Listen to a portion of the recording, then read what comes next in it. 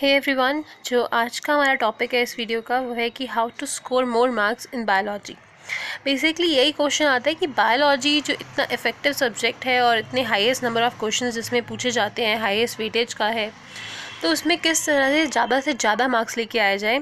तो basic question जो लोगों का मतलब ज़्यादातर बच्चों का होता है कि आ, हम लोग कर तो लेंगे बायोलॉजी बहुत ईजी है बट शुरुआत कहाँ से करें? वहीं से अटक जाते हैं कि किस तरह से स्कोर आगे करना है। हमेशा हम लोग उन चैप्टर्स को ज़्यादा इंपॉर्टेंस देते हैं, जो कि थोड़े से डिफ़िकल्ट होते हैं, लेकिन नंबर ऑफ़ क्वेश्चन उसमें कम आते हैं। लाइक फॉर एग्ज़ाम्पल फोटोसिंथेसिस जो चैप्टर था हमारा, उसमें एन e में इतनी अच्छी तरह से नहीं समझाया हुआ तो हम लोगों ने उसी के ऊपर इतना इफ़ेक्ट किया कि यार ये इंपॉर्टेंट लगता है, ये थोड़ा सा मतलब पजलिंग है तो ये आ सकते हैं इनमें से क्वेश्चन बट ऐसा नहीं है।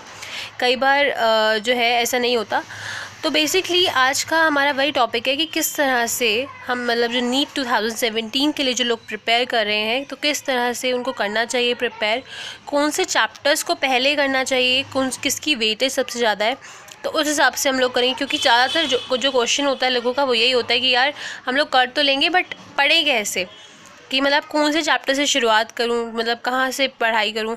तो आज का वही टॉपिक है, बहुत इसमें फ़र्स्ट जो मैंने ये इस तरह से बनाया हुआ है कि बायोलॉजिकल क्लासिफिकेशन इसमें नंबर ऑफ़ क्वेश्चन और वीडियोज़ दी हुई है कि जो बायोलॉजिकल क्लासिफिकेशन हमारा chapter number two class eleventh का है उसमें से no nine number of questions पूछे जा सकते हैं।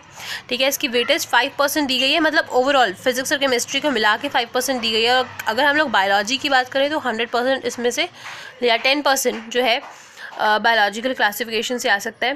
Principle of inheritance and variation genetic genetics वाला जो टर्म है उसमें चैप्टर नंबर फाइव उसमें से सेवन नंबर ऑफ़ क्वेश्चन पूछे जा सकते हैं।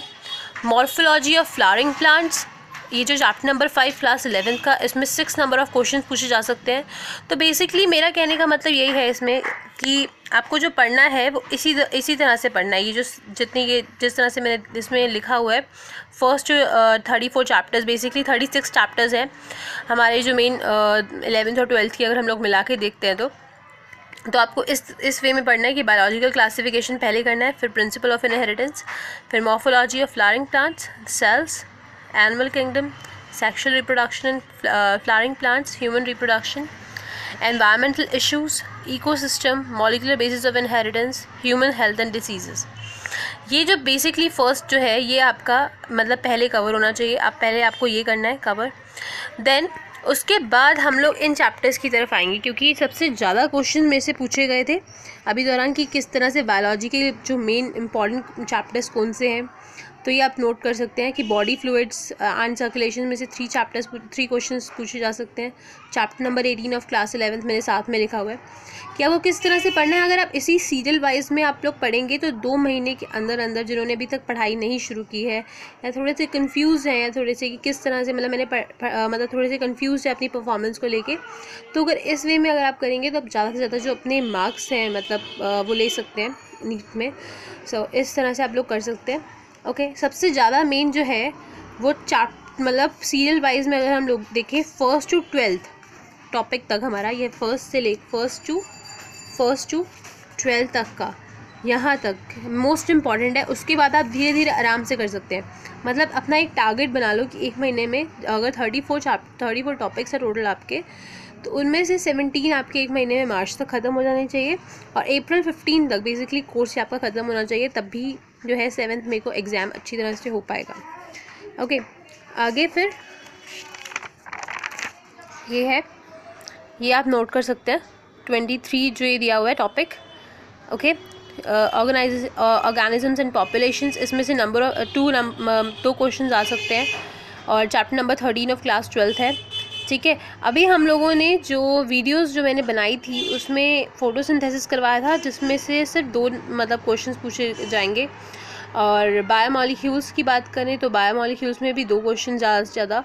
तो बेसिकली हम लोग गलत तरह से पढ़ रहे थे ना तो बेसिक हमारा यही है कि मैं जो वीडियो सब आगे बनाऊँगी, वो मैक्सिमम वेटेज के जो टॉपिक्स हैं जिसमें मैक्सिमम नंबर ऑफ़ क्वेश्चंस पूछे जाएँगे या नीट में जो सबसे मैक्सिमम वेटेज वाले टॉपिक्स हैं, उनको पहले कवर करूँगी। जिससे आपको भी आसानी हो जाएगी। एंड एलेवेंथ अगर हम लोग एलेवेंथ बुक का देखें तो एलेवेंथ क्लास का जो है, उसमें से फोर्टी नाइन क्वेश्चन पूछे जाएँगे और ट्वेल्थ में फोर्टी वन क्वेश्चन ठीक है? तो बेसिकली कि आपका ये होना चाहिए कि जो आपके कॉन्सेप्ट हों, वो सब ज़्यादा क्लियर हो। ये नहीं कि अगर जैसे रिप्रोडक्टिव हेल्थ है, वो उसमें से एक नंबर का क्वेश्चन आ रहा है तो वी कैन से कि यार एक नंबर का ही तो है, अगर छोड़ देंगे तो कुछ नहीं। एक नंबर का जो क्वेश्चन है, वो भी चार मार्क्स वेटेज लेता है। और अगर नेगेटिव मार्किंग है नेगेटिव मार्किंग है तो माइनस वन दैट मीन्स कि जो करेक्ट किया होगा, उसमें से वन माइनस हो जाएगा। तो हर एक टॉपिक को बहुत अच्छी तरह से करना है कि थ्री सिक्सटी के थ्री सिक्सटी आप गेन कर सकें। तो अभी के लिए इतना ही। अब जो नेक्स्ट जो uh, uh, जो वीडियो होगी, वो बायोलॉजिकल क्लासिफिकेशन की मैं अपलोड करने की कोशिश करूँगी कि आपको उसमें से कोई प्रॉब्लम ना आए। और फिर भी इसके रिगार्डिंग अगर कोई वो है, कोई आपकी क्वेरीज हैं you can contact through YouTube comments and on my Google plus community and you can share the sorry share you can follow on my Facebook page as well so if you any uh, if you have any queries you can comment below. And till then thank you so much. And study hard be positive. Okay? To see you soon. Thank you so much